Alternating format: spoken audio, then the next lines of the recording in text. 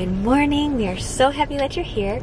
We daily vlog, so if you like this video, come back tomorrow. Peter's on helicopter watch. There's two helicopters just like hovering over the lake. Behind me, I don't know if you can see it or not, is Buckingham Fountain, which we will be returning to this afternoon to see it get turned on for the first time of the summer. Last year, we were cursed, and every time we tried to go see it, there was a fence, there was something blocking it, there was, I don't know, we just never got around to seeing it. And I, I just love the fountain. I don't know, it's one of those things that I just love about our city. You can see it better here. There's a stage, but first, we are going to go to an event with American Cancer Society to kick off the Chicago Marathon um, fundraising. Our link to our donation page will be in the description. Peter is fundraising with ACS. It's part of Team Determination. And that just happened this week. Peter just signed up. So this was a last minute addition to our Saturday. We're so excited to see our ACS light, turn right. Family. If you want some melody, just let me know.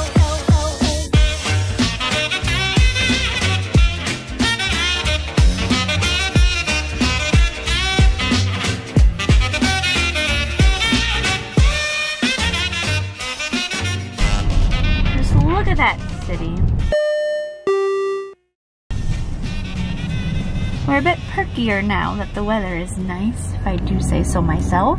We are in the Roosevelt collection, which I don't even, I've been to like the Target here. UI, UIC is not too close. I'm sorry. Not too far. UIC is not too far away. Oh snap, there's a playground. We saw Star Wars here. At the You're south side, right, we take a sharp left turn onto South Delano Court West. That's cool. Two hours free parking with validation. Um, excuse me? He's asleep. He's asleep. James is asleep and he's missing out on the fountains and the beautiful foliage. Isn't it beautiful? As Sarah said, it was last minute that we signed up for the ACS. Um, I actually got one of the last three spots of like the 700 or so spots that ACS has for Chicago. For So, team determination, yes. fundraise, and all that good stuff. Very Missed excited. out on Dopey. Yes. I'm not missing out on Chicago. Ah. Yep. So I'm excited, and like now that we're in Chicago, like I got to I get to do a lot of the in like a lot of the things that ACS offers in person that we did virtually, what two and a half years ago when we first did Right. this. Because we for thought Chicago. we were gonna run it in 2020. Yeah, Well, that, not we, but like, we, we as a family. yeah, for team. team. And here we are, 150 West Roosevelt. Flag. I see some determination flags out. Very exciting.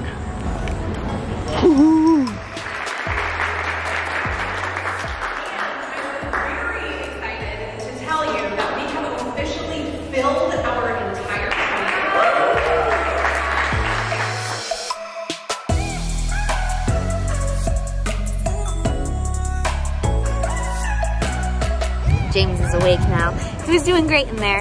Um, but he's a one year old. He got a little restless, so it's nice that there's this park out here. He can get some energy out.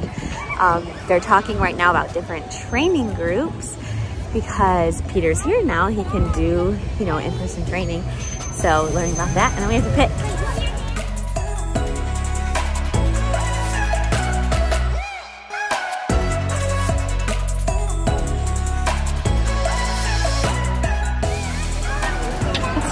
The wood chips. You can't pick it up. He found the fountain. He made his way all the way over here. Wow. Got swag being given away. And we got picking up t-shirts and then we're out of here.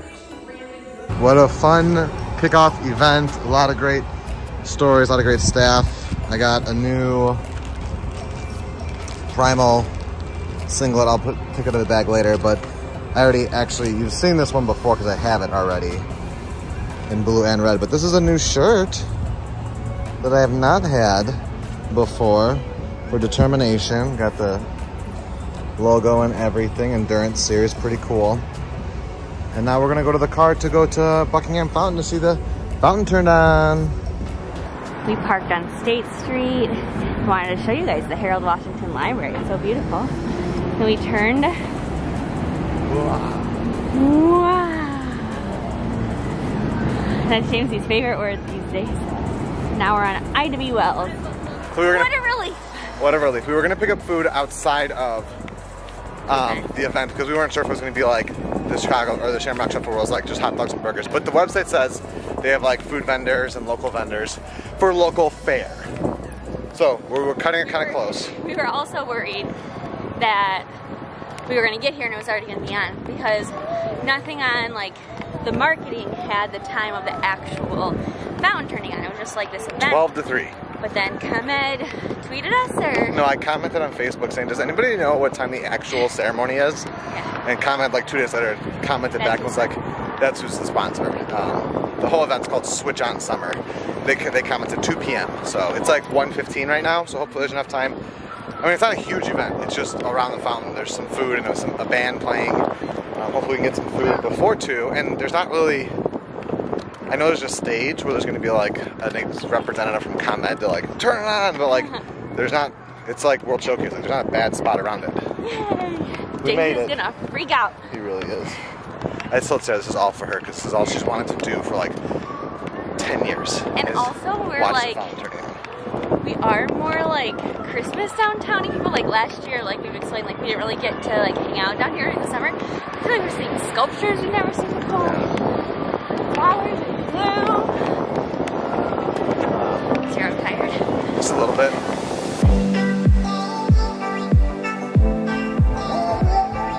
all sorts of tents for different groups across the city.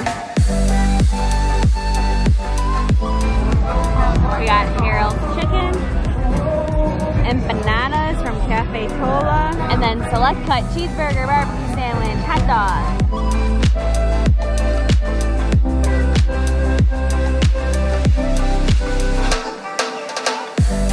We got a city kid eating empanadas, loving life. Just look at this. Just, just look at it. And soon, in 25 minutes, the fountain will be on. Break it, move, mama. All right, look at the beautiful lake. There's a nice cool breeze coming off to cool you off as the sun beats down. There's the switch on summer.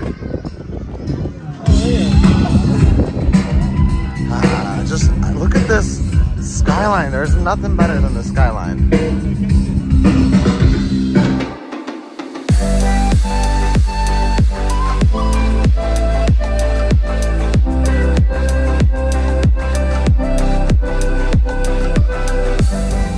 Check out. I bet he has a name, but here's the ComEd like meter. Yeah, I think he's getting ready to go on stage in 10 minutes to flip that switch on and get this fountain going.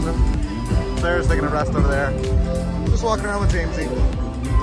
How you feeling? Well, I'm walking around with James, and they were giving out these water pouches, switch on summer, and they have like water filling up stations. They let me fill a water cup and got two of them. Cheers, everybody. Booyah! Chicago summers are just. I texted a picture, a video to Steve, my buddy from Tampa, and he was like, "Man, Chicago summer's tough to beat," and it's true. It does get very humid and hot. And I know that might be silly for a lot of you who listen or watch or that go to Orlando or Orlando based, but it does get very humid in Chicago. People don't realize it's such a, a silent hitter in the summer heat realm. So like this this couple weeks, hopefully, where it's like when the sun's out, it's hot to enjoy, but it's not unbearable, and the breeze is cool coming off the lake because it takes the whole summer for the lake to warm up. Um, that it works in your in your favor. I was very happy to be out and about in my favorite city in the whole world.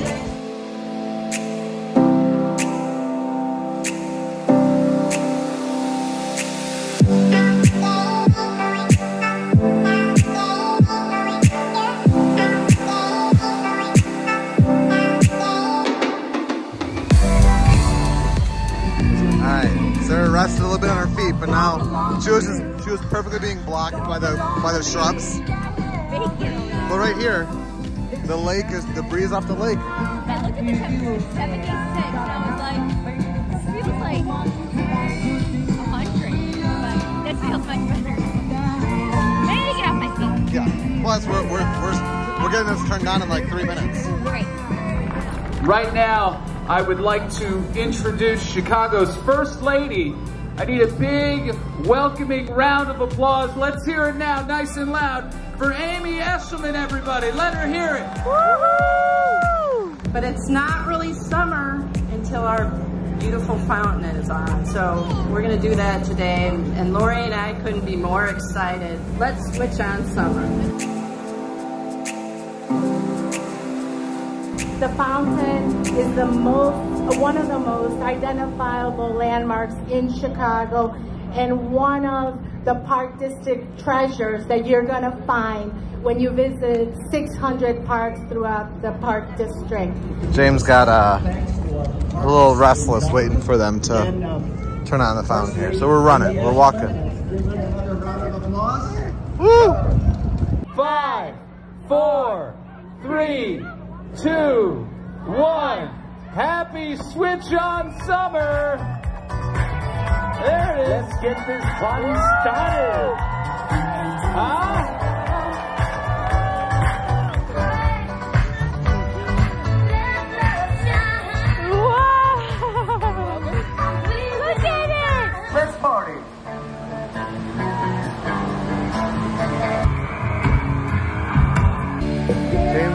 Wants to play with the rocks. Now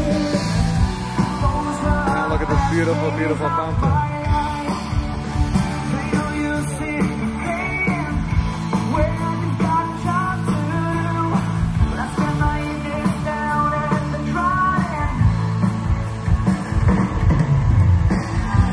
Alright, there's the fountain. There's Sarah giving James gummy bears.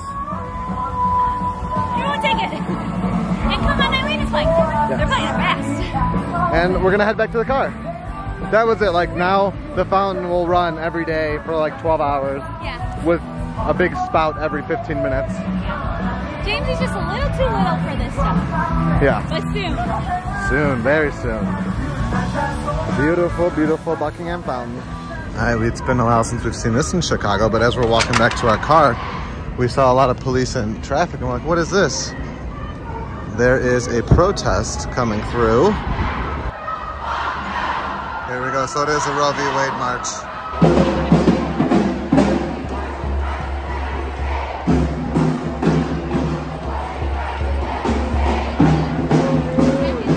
little unexpected peaceful protesting there that we support daily. Sarah even asked, was like, do you want to go walk, march with them? And I was like, you are literally about to give birth at any moment. So we should probably not go marching around more than we already we have. cheered. Yeah, we stopped, we cheered, showed our support.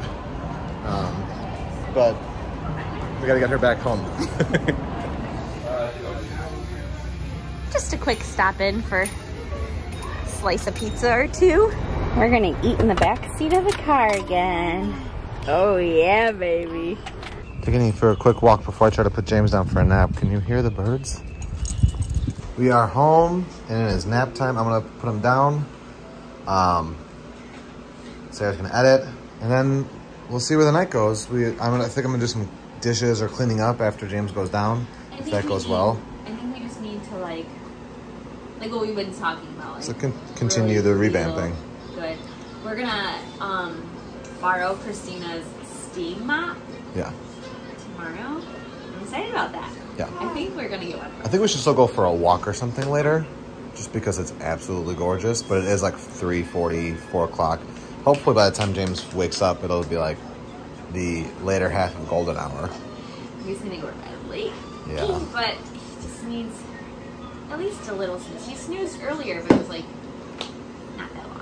And we can say officially that I mean this this will probably go live after, but we're gonna do a live stream tomorrow because we hit our first fundraising goal. So we, we raised over two hundred fifty dollars so far, and we're, we're gonna keep pushing it. We went, our goal is seventeen fifty. Yeah, and we were so inspired to today to learn how much has already been raised with Team Determination. Over four hundred thousand. Four hundred eighty thousand dollars so far for the Chicago team. The vlog is up. Peter just left for his run. He did the dishes, cleaned the kitchen. Feels lovely. Um, I am going to make the meat for our favorite black bean burgers. I'll try and find the recipe I've used over the years.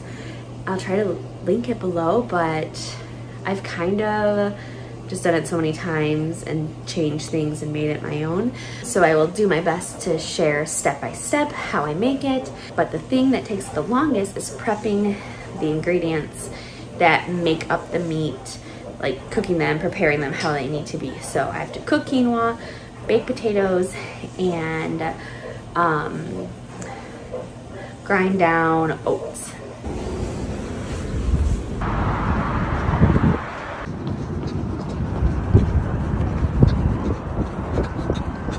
I did a cup of quinoa. It's probably going to be too much. So again, I'll let you know when I actually make the meat how much I use. But that is going.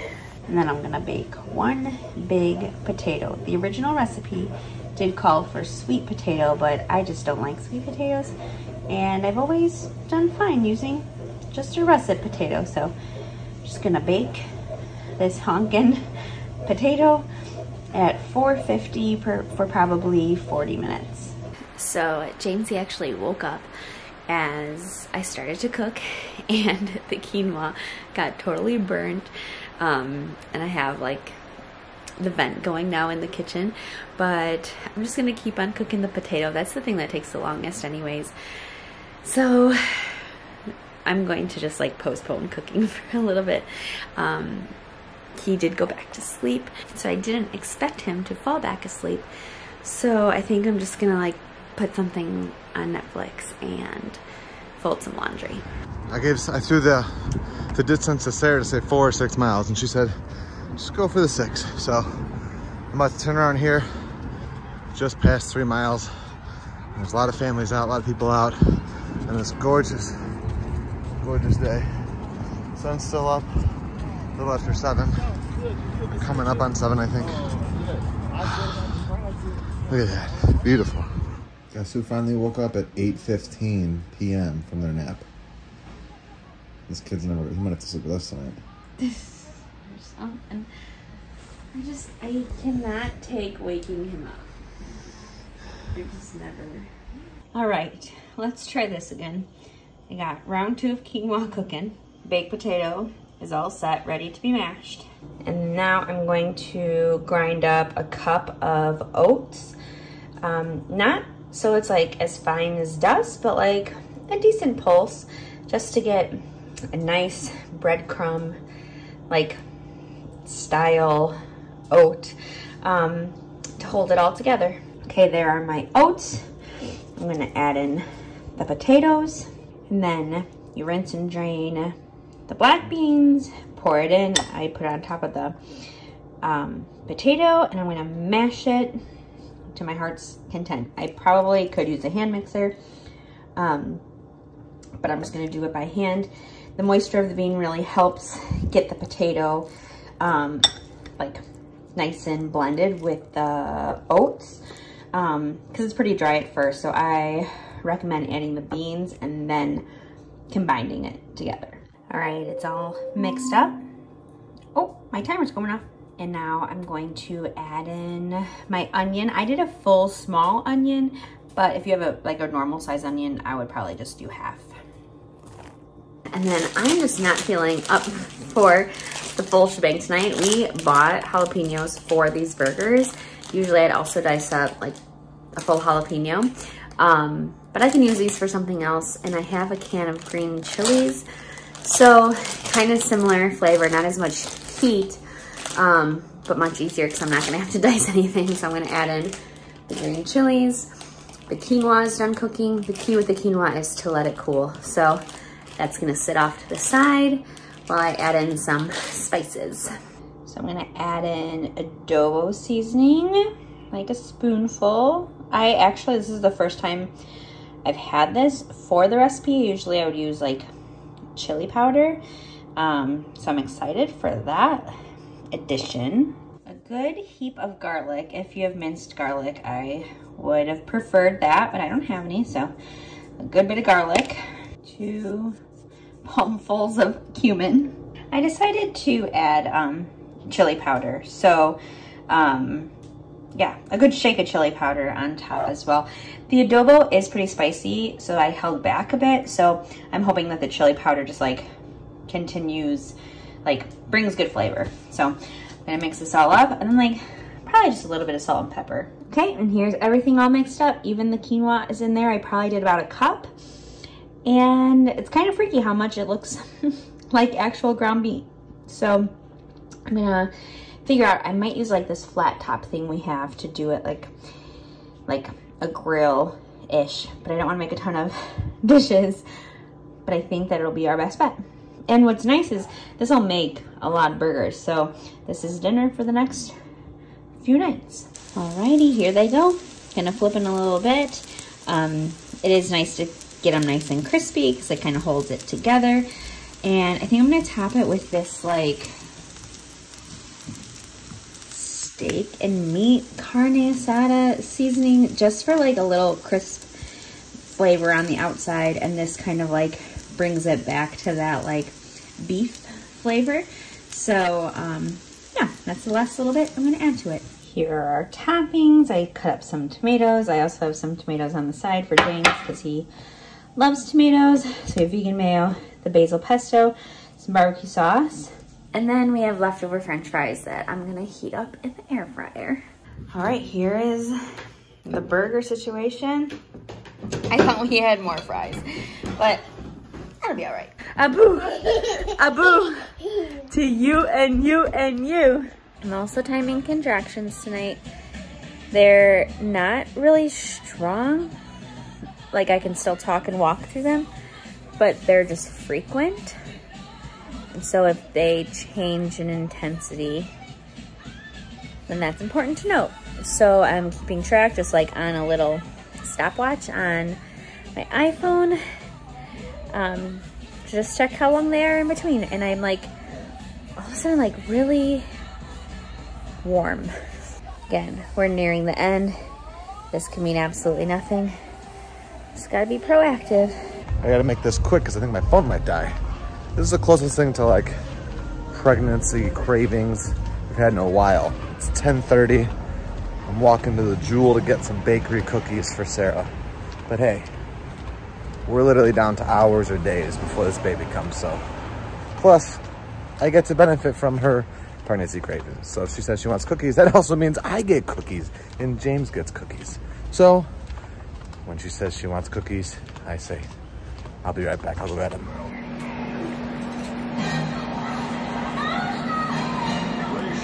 This is what late night bakery cookies does between a mama and a baby. He was just doing a dance move because the cookie was so delicious.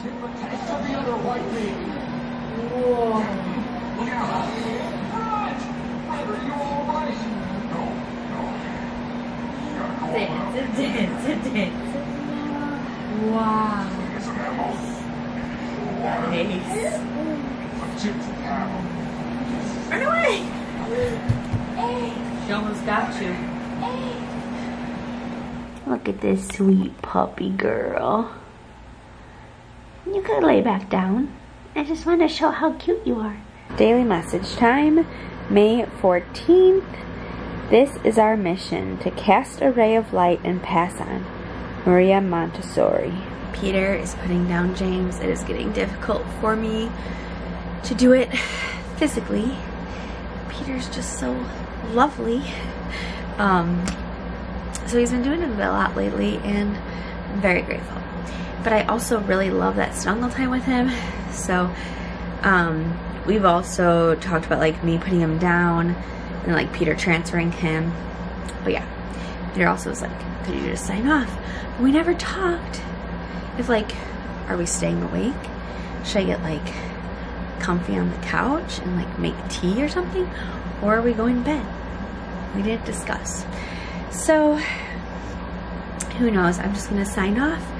Um, we had a wonderful day. We hope you enjoyed the vlog. And it is good to be home. We know what our goals are. We know what we hope to accomplish. And believe me, it's the most exciting and challenging assignment we've ever tackled at Walt Disney Productions.